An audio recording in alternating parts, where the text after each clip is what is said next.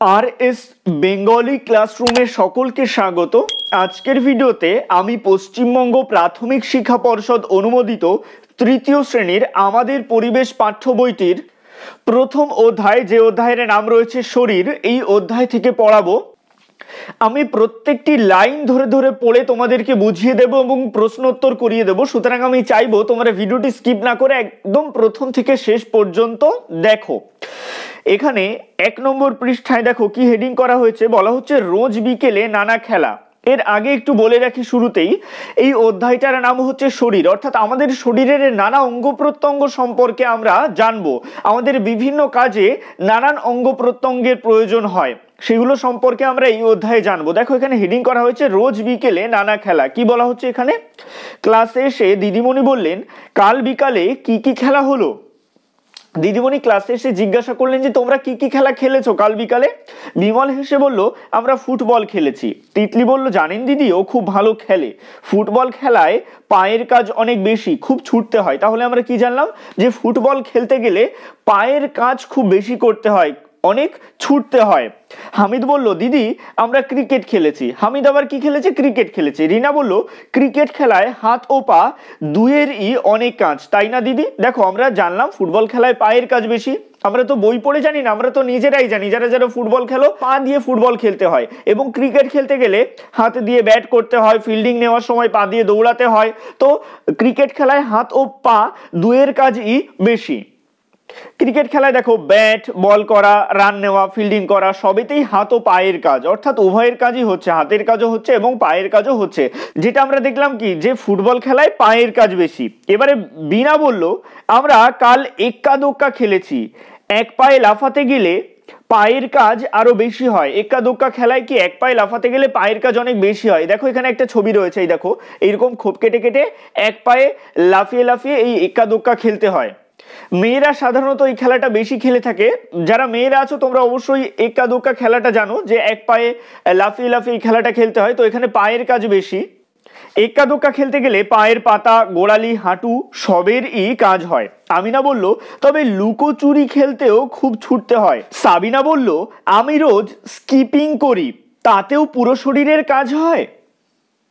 এখানে দেখো, একজন স্কিপিং করছে। তো স্কিপিং করার ক্ষেত্রে কিসের কিসের কাজ হয়? আঙুলের কাজ হয়, তারপরে কবজির কাজ হয় কনুয়ের কাজ হয়, কাঁধের কাজ হয়, এমনকি পায়ের কাজ তো হয়ই। অর্থাৎ বলা যেতেই পারে যে স্কিপিং এর ক্ষেত্রে পুরো শরীরের কাজ হয়। এখানে সেটাই দেখো লেখা রয়েছে, প্রথম পৃষ্ঠার একদম শেষে নিশ্চয়ই স্কিপিং এ আঙুল, কবজি, কনুই, কাঁধ সবেরই অনেক কাজ হয়। তাছাড়া পায়ের কাজ তো আছেই। অর্থাৎ প্রথম পৃষ্ঠা পড়ার পরে আমরা জানতে পারলাম যে বিভিন্ন ধরনের খেলার ক্ষেত্রে আমাদের শরীরের নানা অঙ্গ প্রত্যঙ্গগুলি বিভিন্নভাবে ব্যবহৃত হয়। এবারে দুই নম্বর পৃষ্ঠায় চলে আসছি। এখানে বলা হচ্ছে, দলে করি বলা বলি, তারপরে লিখে ফেলি। নিচে, হাত আর পায়ের নানা অংশের ছবি আছে, সেগুলো কোনটা কি কাজ করে, ছবির পাশে লেখো। এগুলো তোমরা নিজেদের মতন করে ভেবে ও উত্তর লিখতে পারো। এখানে দেখো একটা ছবি রয়েছে, এখানে তোমরা লিখতে পারো, হাত দিয়ে বিভিন্ন কাজ করা যায়, বিভিন্ন জিনিস ধরা যায়। এখানে দেখো, আঙুল আঙুল দেখানো হচ্ছে। আঙুলের সাহায্যে লেখা যায়, ছোট জিনিস ধরা যায়। এখানে দেখো, কবজিকে দেখানো হচ্ছে, হাতের মুঠোকে দেখানো হচ্ছে। হাতের মুঠোটা কবজির সাহায্যে ইচ্ছে মতো ঘোরানো যায়। এখানে দেখো, কবজির সাহায্যে হাতের মুঠোটা আমরা ইচ্ছে মতো ঘোরাতে পারি। এরপরে দেখো একটা ছবি রয়েছে, নখকে নির্দেশ করা হচ্ছে। এখানে তোমরা লিখবে, নখের সাহায্যে আঁচড় কাটা যায়, চুলকানো যায়, সূক্ষ্ম জিনিস ধরা যায়। এবারে দেখো কনুইয়ের ছবি, কনুইয়ের সাহায্যে হাতকে ভাঁজ করা যায়। তারপরে দেখো হাঁটুর ছবি, হাঁটুর সাহায্যে পা ভাঁজ করা যায়। তারপরে দেখো পায়ের পাতার ছবি, পরপর দুটো পায়ের পাতা রয়েছে এখানে। পায়ের পাতার সাহায্যে দাঁড়ানো যায়, সাইকেল চানো চালানো যায়। এখানে দেখো আবার পায়ের ছবি, পায়ের পাতার সাহায্যে হাঁটা যায়, ফুটবল খেলা যায়। এখানে দেখো গোড়ালির দিকটা একটু নিচের দিকে রয়েছে। এখানে গোড়ালিকেও নির্দেশ করতে পারে, তাই এখানে আরও একটা অ্যাড করে দেবে। এখানে লিখবে, দৌড়ানো যায়। এবারে চলে আসছি তিন নম্বর পৃষ্ঠায়। এখানে দেখো হেডিং করা রয়েছে ঠিকঠাক খেলা আর ঠিকমতো শোনা। তো আমরা এর আগের দুটো পৃষ্ঠাতে শিখলাম যে আমাদের শরীরের বিভিন্ন অঙ্গ প্রত্যঙ্গ বিভিন্ন খেলার ক্ষেত্রে নানাভাবে ব্যবহৃত হয়। আর এখানে বলা হচ্ছে যে ঠিকমতো শোনা, আমরা আমাদের শরীরের কোন অঙ্গ দিয়ে শুনি, আমরা কান দিয়ে শুনি, তাই তো? তো এখানে দেখো কি লেখা রয়েছে, এটা একটু পড়ি, তাহলে আমরা আরও ভালোভাবে বুঝতে পারব। এখানে বলা হচ্ছে, রিনা বলল, দিদি গতকাল আমরা কিন্তু কাবাডি খেলেছি। আমিনা বলল, ওর দম খুব। ও যে দলে থাকে, তারাই যেতে সীমা বলল, ও মিন মিন করে কাবাডি কাবাডি বলে। শোনা যায় না। দম নিয়ে নিচ্ছে কিনা, বোঝা যায় না।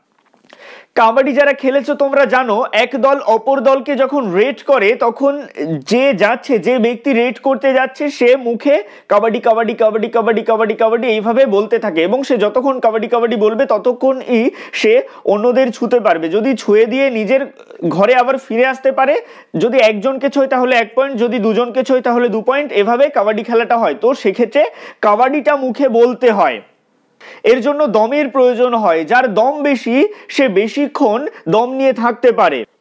এবারে দেখো, বিশু হেসে বলল, এই নিয়ে খুব ঝগড়া হয়। সীমা বলে, তুই দম নিয়েছিস, রিনা মানে না। রিনা বলল, অন্যরা তো বলে না। ও কম শোনে, তাহলে আমি কি করব? দিদিমণি জানতে চাইলেন, কি কারণে কানে শোনার অসুবিধা হয় জানো? অর্থাৎ কি কারণে আমাদের কানে শোনার অসুবিধা হতে পারে? এটা দিদিমণি জিজ্ঞাসা করলেন। দিলি বলল, কান বুঝে গেলে শুনতে অসুবিধে হয়। তো এই কান বুঝে যাওয়া ব্যাপারটা কি? কানে ময়লা জমার কথা বলছো তো? নিশা বলল হ্যাঁ দিদি, কানে খোল জমে কান বুঝে যায়। কানে খোল জমা বা কানে নোংরা জমে কান বন্ধ হয়ে গেলে আমাদের শুনতে অসুবিধা হয়। এটা মনে রাখবে, পরীক্ষা আসতে পারে যে আমরা কখন আমাদের কখন কানে শুনতে অসুবিধা হয়, কানে খোল জমে বা নোংরা জমে কান বুঝে গেলে আমাদের কানে শুনতে অসুবিধা হয়। দিদিমণি বলেন যে ঠিক বলেছ, কান পরিষ্কার করতে হয়, তবে সাবধানে করতে হয়, কানের ভিতরে একটা পাতলা পর্দা আছে। তো একজন জিজ্ঞাসা করলেন যে কোথায়? দেখা যায় না তো কানের মধ্যে পর্দা কোথায় থাকে? আমরা তো দেখতে পাই না। একটু ভিতরে আছে, তাতে আঘাত লাগলে খুব মুশকিল। অর্থাৎ কানের সেই পর্দার জন্যই আমরা শুনতে পারি। এ কারণে কানের সেই পর্দায় যদি আঘাত লাগে, তাহলে কিন্তু আমাদের শোনায় ব্যাঘাত ঘটবে। দিলীপ বলল, আমার দাদু আমার কান পরিষ্কার করে দেয়। দিদিমণি বললেন, ভালো করেন। কানের ময়লা পরিষ্কার করায় বড়দের সাহায্য নেওয়াই ভালো। অর্থাৎ তোমরা যারা ছোটরা আছো, তোমরা নিজেরা নিজেরা কানের ময়লা পরিষ্কার করতে যাবে না। এক্ষেত্রে তোমরা বড়দের সাহায্য নিতে পারো। দেহ, প্রধান বাহ্যিক অঙ্গ ও তাদের কাজ। অর্থাৎ আমরা এই পৃষ্ঠাগুলোতে কি পড়ছি? আমাদের শরীরের বাহ্যিক যে অঙ্গগুলো রয়েছে, যেগুলোকে বাইরে থেকে দেখা যাচ্ছে, সেই সমস্ত অঙ্গের কাজ। এবারে আমরা চার নম্বর পৃষ্ঠাতে চলে আসছি। এখানে বলা হচ্ছে, দলে করি বলা বলি, তারপরে লিখে ফেলি। কীভাবে, কি করো কি করলে কি হয় নিচে লেখো। এখানে বলা হচ্ছে শরীরের কোন অংশ দিয়ে আমরা শ্বাস নিই, এটা তোমরা সকলেই জানো, নাক দিয়ে আমরা শ্বাস নিই। তো লিখে ফেলো, শ্বাস নিলে শরীরের কোন অংশ ফুলে ওঠে? লিখে ফেলো, শ্বাস নিলে বুক ফুলে ওঠে। কথা বলার সময় শরীরের কোন অঙ্গ কাজ করে? দেখো, কথা বলার সময় নির্দিষ্ট একটা অঙ্গ কাজ করে না, অনেক অঙ্গ কাজ করে। কথা বলার সময় জীব, ঠোঁট, তালু, প্রভৃতি কাজ করে। তারপরে বলা হচ্ছে, কান ছাড়া মুখের আর কোথায় নোংরা জমে? তো লিখবে, কান ছাড়া নাক চোখ, দাঁত, জিভে নোংরা জমে। এবারে চলে আসছি নিচের অংশে, এখানে বলা হচ্ছে গা, হাত, পায়ের যত্ন। তো গা, হাত, পায়ের যত্ন তোমরা কীভাবে নেবে বা কেনই বা নেবে? দেখো, এখানে কি বলা হচ্ছে? ভালো করে পড়ো। বলা হচ্ছে, রবিন বলল, দিদি, খেলতে খেলতে আঙুলের নখের নিচেও খুব নোংরা জমে। আমিনা বলল, নখ পরিষ্কার করা সহজ। প্রথমে নেল কাটার দিয়ে নখ কাটবি, তারপরে সাবান দিয়ে ধুয়ে নিবি। তাহলে নখ পরিষ্কার করতে হয় কি করে? প্রথমে নেল কাটার দিয়ে নখ কাটতে হবে বা ব্লেড দিয়েও কাটতে পারো, তারপরে সাবান দিয়ে ধুয়ে ফেলতে হবে। দিদিমণি বললেন, ঠিক বলেছ, সাবান লাগাবে। তারপর নখগুলো একটু ঘষে নেবে। রিনা বলল, দিদি নেল কাটার কথাটা ইংরেজি, তাই না? নেল মানে তো নখ, আর যা দিয়ে কাটা হয় সেটা কাঁটার। অর্থাৎ নেল কাটার শব্দটা কি? ইংরেজি শব্দ। নেল মানে কি? নখ, আর যা দিয়ে কাটা হয় সেটা হচ্ছে কাঁটার। তাহলে দেখো, আমরা তো দেখো আমরা পরিবেশ পড়তে পড়তে একটা ইংরেজি শব্দ ও জেনে নিলাম নেল কাটার যা দিয়ে নখ কাটা হয়। রিজু বলল ব্লেড দিয়েও নখ কাটা যায়। রিনা বলল, তা যায়, তবে খুব সাবধানে কাটতে হয়, নইলে আঙুল কেটে যেতে পারে। তো তোমরা যারা ব্লেড দিয়ে নখ কাটতে চাইবে, তারা একটু সাবধানে নখ কাটবে। আমার ঠাকুরদা নরুন দিয়ে নখ কাটে। নরুন ও এক প্রকার নখ কাটার যন্ত্র। আচ্ছা কান আর নখ ছাড়া গায়ের আর কোথায় নোংরা জমে? অসীম বলল, হাতে, পায়ে, গায়ের চামড়ার যেখানেই ভাঁজ, সেখানেই নোংরা জমে। তাহলে হাতে, পায়ে, গায়ের চামড়ার যেখানেই ভাঁজ, সেখানেই নোংরা জমে। এমনকি যেখানে তোমাদের চোখ যায় না, সেখানেও নোংরা জমে। পিঠে, ঘাড়ে, কানের পিছনেও নোংরা জমে। দিলীপ বলল, কনুইতে জমে, পায়ের পাতায় ও নোংরা জমে। শীতকালে পায়ের পাতা নোংরা হলে খুব মুশকিল পায়ের চামড়া ফেটে যায়। তো মনে রাখবে, শীতকালে পায়ের পাতা নোংরা হলে পায়ের চামড়া ফেটে যায়। হেনা বলল, গোড়ালিতেও নোংরা জমে, শীতকালে ফেটে যায়। দেখবে, গোড়ালি ফেটে যায় শীতকালে। সাবান দিয়ে ওই জায়গাগুলো পরিষ্কার করতে হবে। তাহলে যদি এইরকম হয়, নোংরা জমে বা পায়ের গোড়ালি ফেটে যায়, পায়ের চামড়া ফেটে যায়, তাহলে কি করবে? সাবান দিয়ে ওই জায়গাগুলো ভালো করে পরিষ্কার করে নেবে। দীপিকা বলল, সাবান মাখার পর হাত দিয়ে ঘষে ধুতে হয়, তাহলেই চামড়া পরিষ্কার হয়ে যায়। জুলেখা বলল তারপরে একটু তেল মাখলে আরও ভালো হয়। তো সাবান দিয়ে ভালো করে পরিষ্কার করে নেবে, হাত দিয়ে ঘষে নেবে, তারপরে কি করবে? তেল মাখবে। অনেক কিছুই তোমরা জানো দেখছি, সবাই নিয়মিত মাথা, গা, হাত পা পরিষ্কার করবে, নখ বড় হলে কাটবে। তোমরা সবাই মাথা, গা, হাত পা পরিষ্কার করবে, নখ বড় হলে কাটবে। মোট কথা নিজেদের পরিষ্কার পরিচ্ছন্ন রাখবে। তো এভাবেই তোমরা গা, হাত, পায়ের যত্ন নিতে পারো। এবারে চলে আসছি নিচের অংশে। দেখো, এখানে একটা বক্স করা রয়েছে। এখানে বলা হচ্ছে, নখ, মাথা, গা, হাত, পা পরিষ্কার করতে গিয়ে কি কি সমস্যা হয়েছে দেখেছ? হতে পারে। নিচে লেখো। তো শরীরের কোন অংশ, নখ। কি সমস্যা হতে পারে? নখ বড় হয়ে ময়লা জমেছে। কীভাবে মিটেছে? নেল কাটার বা ব্লেড দিয়ে নখ কেটে সাবান দিয়ে ধুয়ে। তারপরে কি মাথা? তো মাথায় কি সমস্যা হতে পারে বা হয়েছে? মাথায় ময়লা জমেছে, উকুন, খুশকি হয়েছে। তো এই সমস্যা কীভাবে মিটতে পারে? মাথায় শ্যাম্পু দিয়ে উকুন মারার ওষুধ দিয়ে এই সমস্যা মিটতে পারে। তারপরে গা। গায়ে কি সমস্যা হয়েছে বা হতে পারে? ময়লা জমেছে। এটা কীভাবে মিটতে পারে? সাবান দিয়ে ধুয়ে। তারপরে হাত পা। এটাই কি সমস্যা হতে পারে বা হয়েছে? ময়লা জমেছে। কীভাবে মিটতে পারে? হাত পায়ে সাবান দিয়ে। এবারে চলে আসছি ছয় নম্বর পৃষ্ঠায়। এখানে বলা হচ্ছে সকালবেলা উঠে মোরা দাঁতটি মাঝি ভাই। অর্থাৎ সকালবেলা উঠে দাঁত মাজা প্রয়োজন। পরের দিন দিদিমণি ক্লাসে আসতেই রিহান বলল, দিদি, জিভেও তো খুব নোংরা জমে। তাহলে রিহান দেখো আরও একটা অঙ্গ খুঁজে পেয়েছে যেখানে নোংরা জমে। জিভেও নোংরা জমে। দিদিমণি বললেন হ্যাঁ সে তো জমেই। মুখ ধও তো। তখন জিভ ছোলা দিয়ে জিভটা ঘষে নেবে। জিভ ছোলা দিয়ে জিভ পরিষ্কার করতে হয়। তাই দিদিমণি বলছে যে, জিভ ছোলা দিয়ে জিভটা ঘষে নেবে। তারপর কুলকুচি করবে। জিভ পরিষ্কার হয়ে যাবে। এমিলি বলল, দাঁতেও নোংরা জমে, মুখে গন্ধ হয়, তাই তো রোজ দাঁত মাজি। তো তোমরা যারা যারা এই ভিডিওটি দেখছ, তারাও রোজ সকালে উঠে দাঁত মাজবে। তবে দাঁত মাজারও নিয়ম আছে। ইচ্ছে মতো তো দাঁত মাজলে হবে না। তো দাঁত মাজার নিয়ম কি? সবাই অবাক। দাঁত মাজার আবার নিয়ম? দাঁত মাজার আবার নিয়ম রয়েছে। এটা শুনে তো সবাই অবাক হয়ে গেছে যে দাঁত মাজার আবার নিয়ম? হ্যাঁ অবশ্যই দাঁত মাজার নিয়ম রয়েছে। তোমরা সাধারণত সকালে ব্রাশ করার সময় কি করো? ব্রাশটা নিয়ে বেশিরভাগ জন এই ভুলটা করো। এভাবে ব্রাশ করো। তো এটা আসলে নিয়ম নয়। নিয়মটা কি? দেখো, নিচের পাটির দাঁত রয়েছে আর উপরের পাটির দাঁত রয়েছে। তো নিচের পাটির দাঁতের ক্ষেত্রে ব্রাশটাকে নিচ থেকে উপরের দিকে তুলবে। নিচের পাটির দাঁতের ক্ষেত্রে ব্রাশটাকে নিচ থেকে উপরের দিকে টানবে আর উপরের পাটির দাঁতের ক্ষেত্রে ব্রাশটাকে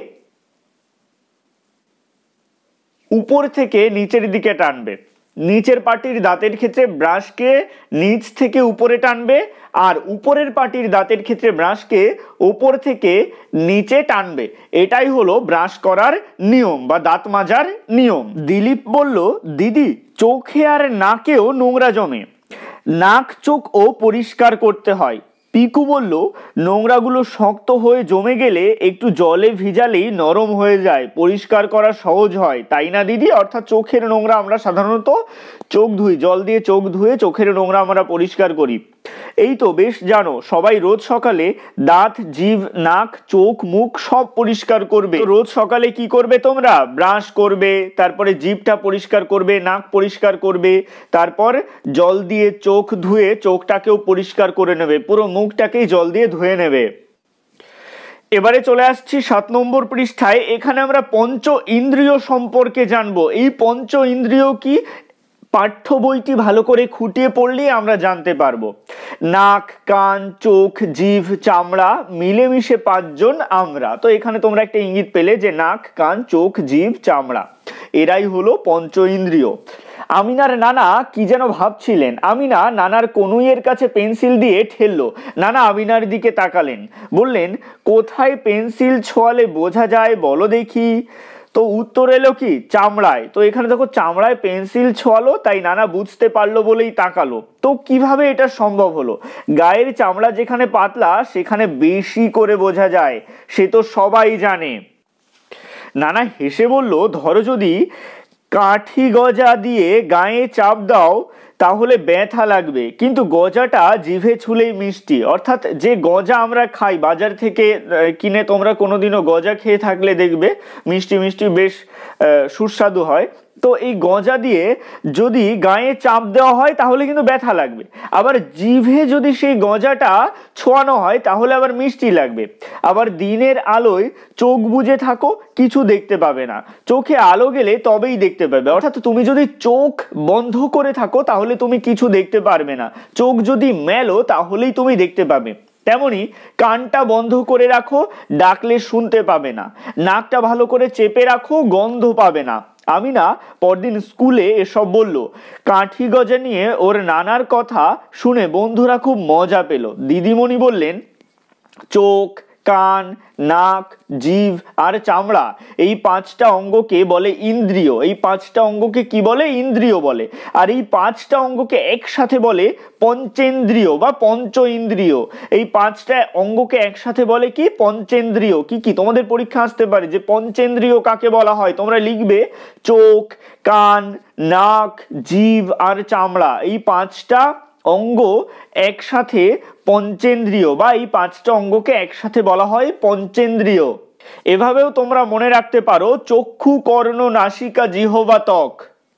তো প্রত্যেকটা ইন্দ্রিয়ের আলাদা আলাদা কাজ আছে। চোখ দিয়ে আমরা দেখি, কান দিয়ে আমরা শুনি, নাক দিয়ে আমরা গন্ধ অনুভব করি জীব দিয়ে আমরা স্বাদ গ্রহণ করি, চামড়া বা ত্বক দিয়ে আমরা স্পর্শ অনুভব করি। তিয়ান বলল, গলা শুনেও কে ডাকছে বোঝা যায়। রবিন বলল, খুব চেনা লোক হলে তবেই বোঝা যায়। অর্থাৎ তুমি তো যে কোনো লোকের গলা শুনে তো আর তাকে চিনতে পারবে না। তুমি ধরো দূরে কোনো জায়গায় গেছো, সেখানে কিছু মানুষজন কথা বলছে, তাদের গলা শুনে তো আর তুমি তাকে চিনতে পারবে না। একমাত্র তোমার পরিচিত যারা ব্যক্তি রয়েছে, তাদের গলা শুনেই তুমি তাদের না দেখে চিনতে পারো যে হ্যাঁ এটা ওই ব্যক্তি। তো অপরিচিত ব্যক্তির ক্ষেত্রে কিন্তু আমরা গলা শুনে চিনতে পারি না। তারপরে বলা হচ্ছে হ্যাঁ দেখে চেনা আর গলা শুনে চেনা দুটো আলাদা কাজ। যারা চোখে ভালো দেখে না, তারা কানটা খুব কাজে লাগায়। যারা চোখে দেখতে পায় না, তারা নিজেদের কানটাকে খুব কাজে লাগায়। হীরা বলল, আমার ঠাকুমা চোখে দেখেন না, গলা শুনলে আমাদের চিনতে পারেন, ছুঁয়েও চিনতে পারেন। হ্যাঁ একটা ইন্দ্রিয় অকেজো হলে অন্যগুলো আরও সজাগ হয়ে যায়। তাহলে আমরা এখান থেকে কি জানলাম? যে একটা ইন্দ্রিয় যদি, আমাদের এই পাঁচটা ইন্দ্রিয়ের মধ্যে যদি যে কোনো একটা ইন্দ্রিয় অকেজো হয়ে যায়, তাহলে অন্য ইন্দ্রিয়গুলো আরও বেশি সজাগ হয়ে যায়। তাই তোমার ঠাকুমাও না দেখেও চিনতে পারেন। তো ঠাকুমা না দেখেও কীভাবে চিনতে পারেন? কানে, শুনে এবং হাত দিয়ে স্পর্শ করে চিনতে পারেন। এরপরে আমরা আট নম্বর পৃষ্ঠায় চলে আসছি। এখানে বলা হচ্ছে, ইন্দ্রিয়গুলোর কি কি কাজ নিচে লেখো। ইন্দ্রিয়ের নাম রয়েছে এখানে দেখো, জীব। জিভের কাজ কি? ইন্দ্রিয়ের কাজ কি? খাবারের স্বাদ নেওয়া, নানা রকম স্বাদের তফাত বোঝা। নাক। নাক এই ইন্দ্রিয়ের কাজ কি? কোনো কিছুর গন্ধ শোকা, ভিন্ন গন্ধের তফাত বোঝা, অর্থাৎ আলাদা আলাদা গন্ধের তফাত বোঝা বা পার্থক্য বোঝা। ইন্দ্রিয় ইন্দ্রিয়ের নাম কান। এই কানের কাজ কি? যে কোনো শব্দ শোনা। তারপর চোখ, চোখের কাজ কি? দেখা। তারপরে চামড়া, চামড়ার কাজ কি? স্পর্শ অনুভব করা বা গরম ঠান্ডা অনুভব করা। এরপর একটু নিচের দিকে চলে আসছে। এখানে বলা হচ্ছে, নিচে একজন মানুষের ছবি আঁকো। মাথা, মুখ, গলা, হাত, পা ও আঙুল দেখাও। কোন অঙ্গ কি কাজ করে, অঙ্গগুলো কীভাবে পরিষ্কার করবে লেখো। তো এখানে একটা মানুষের ছবি আঁকতে হবে। আমি খুব একটা ভালো ছবি আঁকতে পারি না, তাই ছবিটা তোমাদের এঁকে দিতে পারলাম না। কিন্তু এখানে তোমরা নিজেরা একটা মানুষের ছবি এঁকে নেবে। তো এখানে আমাদের কি কি করতে হবে? সেই মানুষটার মাথা, মুখ, গলা, হাত পা ও আঙুল, এগুলোকে চিহ্নিত করতে হবে এবং ওই অঙ্গগুলো দিয়ে কি কি কাজ সে করে বা কি কি কাজ, আমরা ওই অঙ্গগুলো দিয়ে কি কি কাজ করি সেগুলো লিখতে হবে। তো লেখাগুলো আমি লিখে দিলাম, তোমরা অবশ্যই মানুষের ছবিটা এঁকে এই অঙ্গগুলো চিহ্নিত করো। তো এই অঙ্গগুলো দিয়ে আমরা কি করি? মাথা দিয়ে আমরা কি করি? মাথা দিয়ে ভাবনা চিন্তা করি। তারপরে মুখ দিয়ে খাই, কথা বলি, গলা দিয়ে কথা বলি, গান গাই, হাত দিয়ে লেখা, রান্না করা, ছবি আঁকা যায়, তারপরে পা দিয়ে হাঁটি, ফুটবল খেলি, আঙুল দিয়ে লিখি, কোনো জিনিস ধরি। এবারে দেখো, এই মাথাটাকে আমরা কীভাবে পরিষ্কার রাখব? শ্যাম্পু দিয়ে, জল দিয়ে ধুয়ে পরিষ্কার রাখব। মুখ দিয়ে, মুখটাকে আমরা কীভাবে পরিষ্কার রাখব? ব্রাশ করে, কুলকুচি করে পরিষ্কার রাখব। গলাটাকে আমরা কীভাবে পরিষ্কার রাখব? সাবান মেখে জল দিয়ে ধুয়ে। হাতটাকে পরিষ্কার রাখব কীভাবে? সাবান মেখে জল দিয়ে ধুয়ে। পাটাকে আমরা কীভাবে পরিষ্কার রাখব? একইভাবে সাবান মেখে জল দিয়ে ধুয়ে। তারপরে আঙুল, আঙুলটাকে আমরা কীভাবে পরিষ্কার রাখব? নখ কেটে সাবান মেখে জল দিয়ে ধুয়ে। আজকের ক্লাস এই পর্যন্তই। পরবর্তী পৃষ্ঠাগুলির বিস্তারিত আলোচনা আমি পরবর্তী পার্টের ভিডিওতে দিয়ে দেব। যে ভিডিওটির লিঙ্ক তোমরা পরবর্তীতে এই ভিডিওটির ডিসক্রিপশনে গিয়ে পেয়ে যাবে বা তোমরা চ্যানেলের প্লেলিস্টে সরাসরি চলে যেতে পারো। ক্লাস থ্রি আমাদের পরিবেশ। এই অপশনে গেলে তোমরা পরপর সমস্ত পৃষ্ঠার বিস্তারিত আলোচনার ভিডিও পেয়ে যাবে। আজকের ভিডিওটি ভালো লাগলে অবশ্যই একটি লাইক করে দিও এবং একই ক্লাসের বন্ধুদের সাথে ভিডিওটি শেয়ার করতে ভুলো না। ভালো থেকো, সুস্থ থেকো সকলে, আর অবশ্যই আর এস বেঙ্গলি ক্লাসরুম এই চ্যানেলটির সাথে থেকো। সবশেষে একটাই রিকোয়েস্ট এখনও পর্যন্ত যেন আমার চ্যানেলটিকে সাবস্ক্রাইব করে উঠতে পারেনি, তারা অবশ্যই আর এস বেঙ্গলি ক্লাসরুম এই চ্যানেলটিকে সাবস্ক্রাইব করুন আর পাশে থাকা বেল আইকনটিকে প্রেস করুন, নতুন ভিডিওর আপডেট সবার আগে পেতে।